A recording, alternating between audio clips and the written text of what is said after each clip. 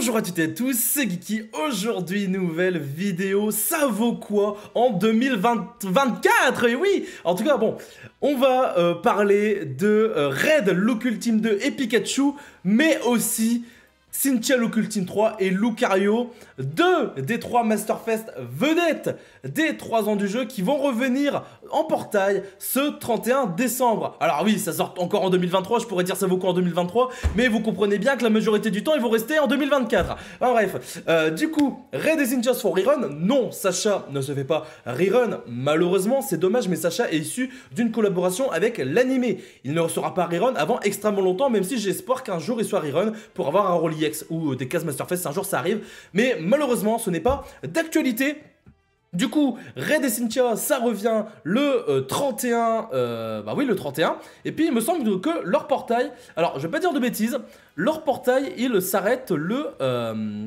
il s'arrête le 31 janvier. Voilà. Du coup, vous avez un mois pour les avoir si vous ne les avez pas. Du coup, comme toujours, avec les vidéos ça vaut quoi? Faire, bien sûr, eh bien, euh, l'objectif de ces vidéos est surtout d'aiguiller les personnes qui n'auraient pas ces duos, qui n'ont pas ces duos, et qui souhaiteraient les avoir pour leur dire si aujourd'hui ça vaut le coup d'avoir ces duos. Et d'ailleurs, en plus de ça, oubliez de dire, mais ces duos vont revenir en plus de ça avec un Rolly-X. Nous avons Red et Pikachu qui va revenir avec un Rolly-X régisseur pour encore plus poser euh, le champ électrifié. Et nous avons Cynthia Ultime et Lucario qui va arriver avec un Rolly-X accélérateur, euh, ce qui là est parfait. Parce que euh, vous allez voir juste après, on va rappeler ce qu'au font euh, les différents duos. Mais le Rolex Accelerator est vraiment bienvenu euh, pour le gameplay de Cynthia et Lucario avec sa zone combat. Du coup, on va directement entrer dans le vif du sujet. Alors, je vais garder le plus intéressant, savoir Red et Pikachu, je vais le garder pour la fin. Parce que c'est sur lui qu'il y a le plus de choses à dire. Voilà. Du coup, commençons par Cynthia Ultime 3 et Lucario qui était un soutien de type combat. Et bien sûr, il est méga évolué en méga Lucario et il a un Rolex accélérateur. Du coup, concernant euh, Cynthia et Lucario, le Joe faisait quoi? Alors déjà, un Lucario qui a un énorme bulk. 307 hein. euh, dans les deux défenses, 689 en point de vie. On a euh, top 10 des meilleurs bulks du jeu. Je rappelle un truc, si vous mettez le duo en 6 étoiles X, déjà vous aurez plus de stats.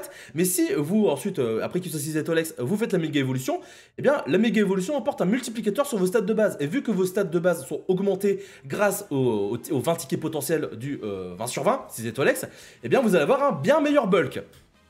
Du coup, euh, ensuite par contre la vitesse de 186, mais c'est pas tant un problème que ça. Nous avons ensuite euh, les attaques du personnage avec onde vide qui coûte un seul segment de jauge capacité. On va pas parler de la puissance car le duo n'est vraiment pas là pour taper sauf dans, de très sinistres solos d'aventure légendaires. J'en ai encore euh, des, traumatismes. Le duo ensuite des potions qui permettent de rendre environ 40% des points de vie maximum à des alliés, utilisables deux fois.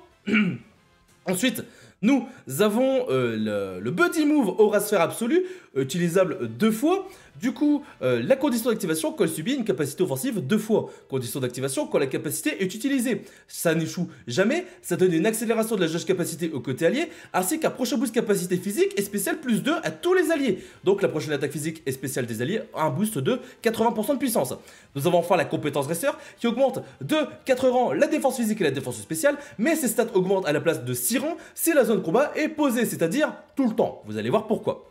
La capacité duo de Lucario, ça le permet justement de devenir méga Lucario jusqu'à la fin du combat, étant un rôle soutien, en tout cas étant un duo soutien, le bonus de détermination après votre première capacité duo est doublé. Et nous avons l'effet Roliex accélérateur à la première capacité duo, vous allez réduire de 3 actions le compteur de la capacité duo, sachant qu'en plus de ça, ça apporte des statistiques.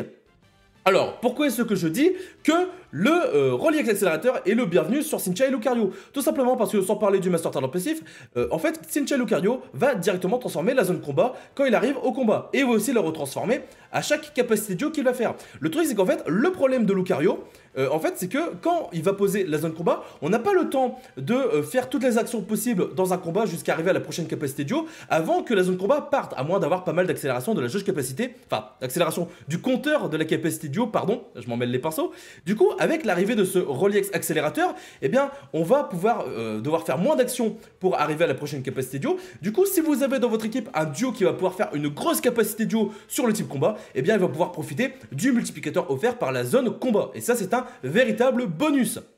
Du coup, maintenant que c'est dit au niveau de son Roliex, nous avons le Master Turtle passif qui est un Master Turtle passif générique, donc il ne se spécialise pas sur le plan physique ou spécial, et c'est pour la région de Sino. Augmente de 10% la puissance des capacités et de 20% la résistance aux dégâts des capacités offensives. Plus il y a de duos avec le mot-clé Sino dans, votre équipe, plus l'effet est puissant. Chaque duo apporte 10% de puissance et 3% de résistance. L'augmentation maximum est de 30% de puissance et 26% de résistance aux dégâts. Nous avons ensuite le deuxième talent passif, vu que j'ai skippé le premier, on va dire. Eh bien, nous avons capacité offensive coach 103. Quand Lucario va attaquer un adversaire, il a 40% de chance de rendre des points de vie à tous les dualiers. Et nous avons arrivé prochain garde. Quand Lucario arrive au combat, il va obtenir un effet prochain garde. Et c'est un talent arrivé, donc il va se réactiver quand il deviendra méga Lucario. Et justement, méga Lucario, parlons-en. Au niveau 140, 368 en défense physique défense spéciale, 1011 de bulk. Nous avons le meilleur bulk du jeu, le meilleur tank du jeu en termes de statistiques pures. Voilà. Est-ce que c'est bon pour vous? Au niveau du kit du personnage, rien ne change. Au niveau du Master Talent passif non plus. Au niveau euh, des talents non plus. Voilà. La CD de Lucario permet d'obtenir un bulk de bâtard. Voilà, pour rester poli bien évidemment, car euh, bâtard c'est surtout un, mot gentil que vous dites à, votre, à vos amis avant de leur faire un bisou sur le front avant qu'ils s'endorment. Relatable. Euh, du coup, maintenant, du coup, voilà, vous comprenez. Mais attendez, c'est pas tout parce que si vous mettez le duo au niveau 150 et que vous lui le mettez 6 étoiles X, eh bien vous passez tout de même à 445 en défense physique, 445, 435 pardon, en défense spéciale, 340 en vitesse. Voilà. Euh, encore aujourd'hui, c'est le meilleur bulk du jeu. Même si on a des duos qui aujourd'hui ont de très très bons bulks. Hein. Alors, on va, on va regarder tout simplement. Au niveau euh, du bulk, on a euh, par exemple Megatortan qui est en dessous, mais on peut aussi avoir des duos comme Meloeta, tout ça, Elector aussi. Mais en fait, ces duos-là ont aussi de très bons bulks, mais derrière, ils ont de meilleures capacités à récupérer des points de vie, ce qui, ce qui fait qu'en fait, d'une manière générale, ces duos sont un petit peu plus intéressants. Mais dans tous les cas, vous avez compris que le duo peut récupérer des points de vie en attaquant un adversaire. Il a des potions et aussi dans son plateau, il peut récupérer des points de vie en subissant des attaques lorsque la zone combat est posée, chose qui arrivera toujours avec Lucario. Et justement, tant qu'on y est, parlons-en de euh, bah, du plateau de Lucario en 1 sur 5. On a immunité sable, ok On a immunité baisse vitesse, immunité empoisonnement, voilà, pas grand chose à dire dessus. Au niveau de 2 sur 5, on a des soins augmentés et récupérer PC2 sur les potions. Voilà, donc ça c'est des cases très intéressantes sur Lucario. Euh, surtout quand vous cherchez à faire des solos en aventure légendaire. Voilà, Ensuite, on a euh, capacité de confusion 4 sur onde vide, 50% de chance de rendre confus l'adversaire en l'attaquant avec onde vide. Ensuite, on a un zone combat réflexe zone 4. Euh, du coup, quand on subit une attaque d'un adversaire sur la zone combat, on a 50% de chance de récupérer des points de vie. Turbo zone combat 2, ça aussi, ça fait plaisir. En bas, ici, nous avons euh, défense up, puissance up pour augmenter les dégâts. On, sachant que le duo va pas vraiment être là pour taper. Et de toute façon, onde vide, ça a 25% de puissance, ça a 25 puissance ici. Voilà quoi. Euh, c'est vraiment sur la longue que ça peut faire des dégâts de gratte. Euh, ici, récupérer PC2 sur la compétence resteur. À la limite, si vous perdez des stats défensives, pourquoi pas, mais en l'état, dans, la majorité, euh, dans la majorité des cas, on s'en tape de cette case. ensuite, on va chercher ici le récup Josh 3 sur onde vide et coach et peur. Les duos aliens ne peuvent pas être apeurés. C'est tout pour le bateau. 2 sur 5. Et enfin, en 3 sur 5 sur Sincha et Lucario, nous avons plus de, de, potions et de récup PC. Bah, plus de récup PC sur, sur, les potions et plus de soins augmentés. Mais souvent, on va garder un seul soin augmenté. Nous avons ici euh, capacité offensive paralysie 4 sur onde vide, donc 50% de chance de paralyser la cible cette fois. Donc ça aussi, ça peut être intéressant dans certaines situations. On a ici un tronc compteur baisse 1, réduire d'une action le compteur de la capacité dure en arrivant au combat. Ça ne concerne que Lucario forme de base, ça ne concerne pas Mega Lucario. Ça, ça peut être utile si vous jouez des accélérations compteur dans votre composition.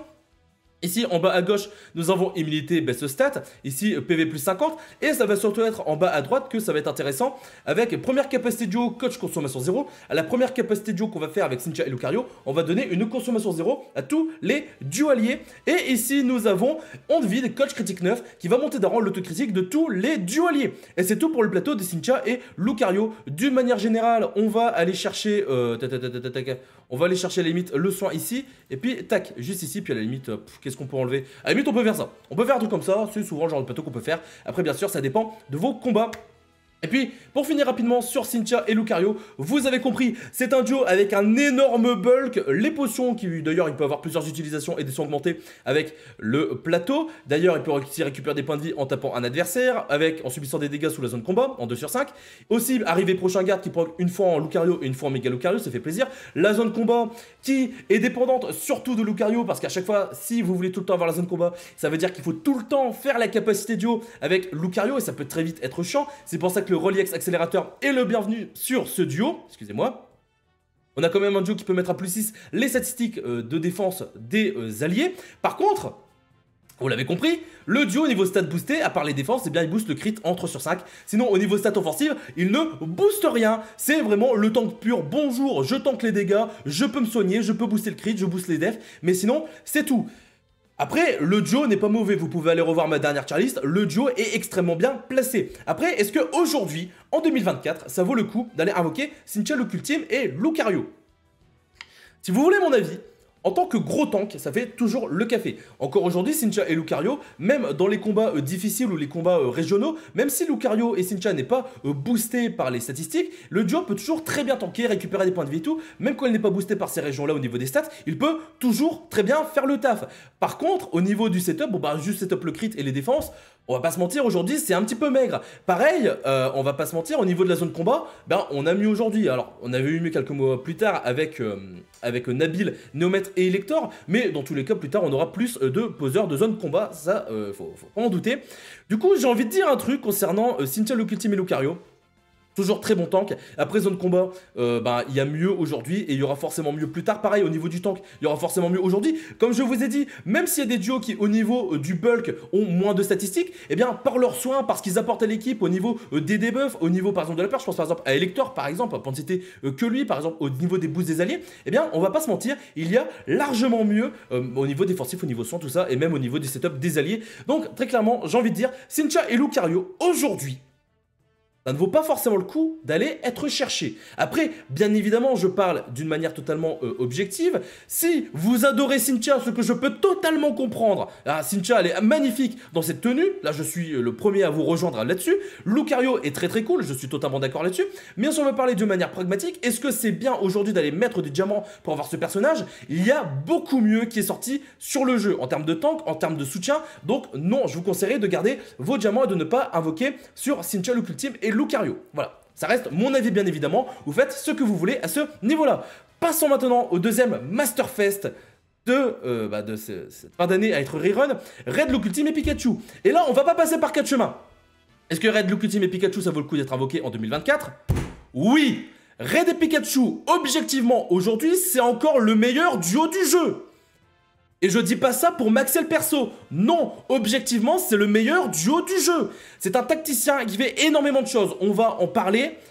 Voilà, déjà, Rolex ce régisseur qui a été ajouté, mais ça, on va en reparler. On a un duo qui est déjà à des bonnes statistiques de manière générale, très bonne vitesse, il va quand même bien taper aussi. On a un duo qui peut paralyser, poser le champ électrifié. On a le Buddy Move qui s'active dès que le champ électrifié est posé, 180 de puissance, 1 sur 5, ça, il faut pas... Alors, attendez, non. en 5 sur 5, excusez-moi, j'ai oublié de modifier quelques trucs, mais bref, on a un duo qui déjà a un bon buddy move. Déjà quand le champ électrifié est posé, je rappelle que le champ électrifié va euh, durer avec une durée, va avoir, va avoir une durée prolongée de 50%. Il ignore les talents passifs qui réduisent les dégâts de l'électacle originel. Donc déjà ça fait une pénétration de base sur le personnage. Il ignore les talents passifs qui euh, protègent les coups critiques. Ignore les préencaissés de la cible. Et si un adversaire est paralysé, eh bien on va baisser ses statistiques de défense et défense spéciale. Sachant qu'en plus de ça, ça va toucher tous les adversaires et la puissance n'est pas réduite s'il y a plusieurs adversaires. On pourrait se dire, oui, bon, ça tape. Voilà. Oui, mais attendez, sa compétence Racer, déjà, attaque plus 6, régénération des points de vie. Ok la capacité duo augmente en puissance si elle champ électrifié. Ok. Effet IX, la puissance de la capacité duo augmente de 50%. Ok. Effet Relix, ça va poser un champ électrifié qui va augmenter en puissance de 50%. Non, excusez-moi, ça va poser un champ électrifié qui va avoir une durée prolongée de 50% quand la première fois qu'il va faire sa capacité duo. Je rappelle un truc, c'est qu'il a déjà deux champs électrifiés de base, et entre sur 5, pour un peu vous spoiler, il peut poser un champ électrifié avec son, euh, Dynamax. Mais c'est pas tout C'est pas tout Parce que, euh, euh, pour aller vite en besogne, le duo augmente de base de 50% la durée du champ électrifié sur le terrain. Donc comment ça se passe? Parce que le champ électrifié euh, avec le, le, le 6X, le 6 étoiles régisseur a déjà une durée prolongée de 50%. Raid rajoute 50% de durée prolongée en plus. Ça veut dire quoi? Ça veut dire qu'on a un champ infini, sachant qu'on peut aussi poser le, le champ électrifié avec le Dynamax, et en plus de ça, on a les deux utilisations de base. Ah bah là, euh, j'ai envie de vous dire un truc, c'est que... Euh, ouais bah, en vrai je sais même pas comment on peut s'orienter au niveau gameplay, parce qu'en soi on pourrait se dire, allez début de combat je spam éclair, à la limite je peux apeurer, euh, je peux paralyser, ensuite je fais la capacité duo, comme ça je pose le champ électrifié, je fais des gros dégâts, et puis derrière hop je spam le buddy move et je garde la puissance de mon Dynamax, je garde les utilisations de champ électrifié, quand le champ électrifié part on fait le Dynamax et après on, continue de spam, bref, il y a pas mal de possibilités à faire à ce niveau-là sur le champ électrifié avec Red Pikachu. Après, bien sûr, ce n'est que de la spéculation. Et puis bien sûr, il faut pas oublier un truc, c'est que depuis la sortie de Red Pikachu, on a énormément d'excellents poseurs de champ électrifié. Peterson Ultime, Tilulu Ultime, euh, champ électrifié infini, pour faire simple. Enfin bref, ça c'était vraiment la partie sur le, champ électrifié, le rôle régisseur. Ensuite, bien sûr, le duo a un Dynamax, Foudre G-Max qui va paralyser tous les adversaires. Alors ça peut taper sur le plan physique ou spécial. Généralement, on va préférer sur le plan physique car il peut euh, de base se booster euh, l'attaque euh, physique. Non, après, si vous voulez jouer avec éclair, faites ce que vous voulez. Ensuite, on a aussi un garde max pour donner un prochain garde à un allié ou à lui-même. On a ensuite un Master Talent de Kanto générique, donc tout comme Cynthia, Lucultime et Lucario, sauf que là, c'est pour la région de Kanto. Donc 10% de puissance des capacités supplémentaires, 20% de résistance aux dégâts pour les alliés. Plus il y a deux duos avec le mot-clic Kanto dans l'équipe, plus l'effet est puissant. Chaque duo apporte 10% de puissance et 3% de résistance. L'augmentation max est de 30% de puissance et 26% de résistance aux dégâts. Du coup, l'esprit combatif de Raid au niveau des talents passifs, on en a parlé. Le choix prolongé. La jauge capacité se remplit plus vite quand le champ est à champ électrifié. Le lanceur regagne des points de vie à chaque action effectuée sous le champ électrifié. Donc du coup, de base, régénération des points de vie. Rappelle qu'il se donne une régénération lente des points de vie sur le champ électrifié. Sachant qu'en plus, celle-là s'applique à tout le monde. Voilà, en plus de ça, action capacité duo, capacité duo dynamax critique. Toutes les attaques de raid vont faire un coup critique, sauf dans certains cas s'il a immunité critique ou euh, si euh, il y a un, il y a un effet anti-critique au côté adverse. Mais de toute façon, euh, j'ai pas besoin de me répéter, euh, car le euh, Buddy Move passe au travers des, des immunités critiques. Alors attention, ça précise bien talent passif, mais si l'adversaire se met un effet anti-critique, vous ne pourrez pas faire de coup critique, car ce n'est pas un talent. Ensuite, on a capacité duo Dynamax contre Orbes 3. Au premier Dynamax qu'on fera avec Pikachu, dans tous les cas, toujours le Dynamax car il n'est utilisable qu'une seule fois, on va réduire de 3 actions le compteur de la capacité duo. Il fait tout ça en euh, juste en 1 sur 5. Voilà. Et pour les sceptiques euh, qui diraient non mais attends t'abuses, euh, le duo à sa sortie, pouvez solo toutes les batailles légendaires. Toutes les batailles légendaires qui existent, il y en a 14 dans le jeu, il fait tout. Vraiment, on, on en est revenu à l'époque des 6 mois du jeu où quand quelqu'un galère sur un event, on dit juste Just use Red, utilise Red. Red et Pikachu, et pété. Alors même si on est d'accord qu'au niveau des gars, ça n'atteindra pas un Sacha et Pikachu, au niveau de tout ce que le duo propose, au niveau du champ électrifié, des buffs, au niveau aussi bah, de, la pénétration, tout ça, euh, Dynamax, euh, tout ça, le duo encore aujourd'hui est intestable. Du coup, au niveau du plateau, en 1 sur 5, on a euh, récupéré PC2 sur la compétence Racer, ok. On a immunité paralysie, immunité baisse attaque physique, et puis voilà. À part ça, pas grand chose à dire dessus. Oui, même Sulfura. Euh, du coup, ensuite, on a euh, capacité coche précision en faisant le champ électrifié. On booste d'un rang la précision des alliés en posant le champ électrifié. Et ensuite, puissance paralysie 1. Voilà. Ensuite, on a euh, capacité attaque spéciale up 2 sur la compétence dresseur. du coup, voilà. on augmente l'attaque spéciale des bah, deux raids en faisant la compétence dresseur. Alors, pour les batailles légendaires, pour créer la suffira, ça a mis du temps quand même, oui, mais ça a été fait. Il n'y a pas fallu attendre les équipements de talent et il n'y a pas fallu attendre un Rollex pour qu'il puisse le faire. Ça a mis du temps, mais il l'a fait. Euh, ensuite, on a puissance capacité duo paralysie 3. Quand l'adversaire est paralysé, la puissance de la capacité duo augmente de 30%. Ça, c'est déjà plus facile à, avoir qu'un euh, ultra efficace capacité duo. Voilà. Ensuite, on a euh, champ électrifié immunité tourment. Red ne peut pas subir 10 de, de, de, tourment, à savoir peur, confusion et ligotage, quand le champ électrifié est posé. Ensuite, on a champ électrifié, immunité, altération, c'est la même chose, mais là, pour les altérations de statut. Ensuite, on a en 2 sur 5, récup 3 sur éclair ainsi qu'un R nocif 4 pour passer à 50% de chance de euh, paralyser les adversaires. On pourrait se dire, oui bon le plateau il est bien sympa, c'est du 2 sur 5, oui mais attendez de voir le 3 sur 5. Le 3 sur 5 sur Red et Pikachu, bah déjà on va aller chercher, euh, déjà bon peut-être pas forcément le coche précision sur le champ électrifié mais ça peut servir, mais déjà on va chercher le euh, champ électrifié sur le Dynamax, car en plus de paralyser, si on peut poser un champ électrifié gratuitement, eh bien ça se prend toujours. Ensuite, on a aiguisé, les attaques n'échouent jamais. Bon, je trouve pas ça si pertinent de prendre cette case, après ça dépend des utilisations. Ensuite, puissance paralysie 1, mais ça on avait déjà vu en 2 sur 5. Ensuite, en 3 sur 5, on a ici vitesse ennemi baisse, puissance capacité duo up. Plus la vitesse de l'adversaire est baissée, plus la capacité duo augmente en puissance, ok Et on a ennemi paralysie, capacité offensive, vitesse baisse 9. Quand l'adversaire est paralysé et qu'on va l'attaquer, on va baisser d'avance sa stade de vitesse. Sachant qu'en faisant le buddy move, on va debuff les statistiques défensives d'un adversaire paralysé. On debuff défense physique, défense spéciale, vitesse. Voilà. Sachant que, je rappelle un truc, vu que notre capacité duo va taper sur le plan euh, physique, vu qu'on va debuff la défense physique de l'adversaire, on va forcément faire plus mal sur notre capacité duo. Et pareil pour la défense spéciale, je rappelle que le Dynamax peut aussi taper sur le plan spécial. Donc c'est tout bénéf pour les dégâts de Red et Pikachu. Ensuite, nous avons en bas à gauche, attaque up, puissance capacité du Dynamax up 3. Quand l'attaque de raid est augmentée, ne serait-ce que d'un le euh, Dynamax augmente en puissance de 30%. Ce qui arrive tout le temps, on va pas se mentir. Et si nous avons champ électrifié, régénération 1. Quand le champ électrifié est posé, le duo récupère des points de vie, sachant qu'on a déjà la régénération de la compétence racer, la régénération du talent passif, et là si on veut rajouter une troisième régénération, ouais c'est un petit peu euh, pété, on va pas se mentir. Et ensuite, nous avons en 3 sur 5, attaque up, puissance capacité duo up. Plus l'attaque est augmentée, plus la capacité duo est puissante. Et nous avons éclair capacité offensive per 4, 50% de chance d'apeurer l'adversaire quand euh, on va l'attaquer avec éclair. Du coup, alors on va refaire un petit peu le plateau car bah, au niveau des cases, il y a ça va être un petit peu la panade avec, euh, à cause surtout du euh, capacité du Dynamax champ électrifié. Du coup, on peut à la limite enlever le attaque puissance capacité du up et prendre de la puissance sur le électacle. Parce qu'en soi, derrière, eh ben, on peut... il y a d'autres cases qui sont intéressantes. En soi, toutes les cases en 3 sur 5 sur Raid sont intéressantes. Mais très clairement, le 3 sur 5 sur Raid, si à un moment vous vous dites hmm, est-ce que je vais 3 sur 5 Raid et Pikachu Est-ce que ça vaut le coup? Oui oui, oui, de toute façon, Red et Pikachu, oui, dans tous les cas, ça vaut le coup de l'avoir et ça vaut encore plus le coup de l'avoir avec des doublons.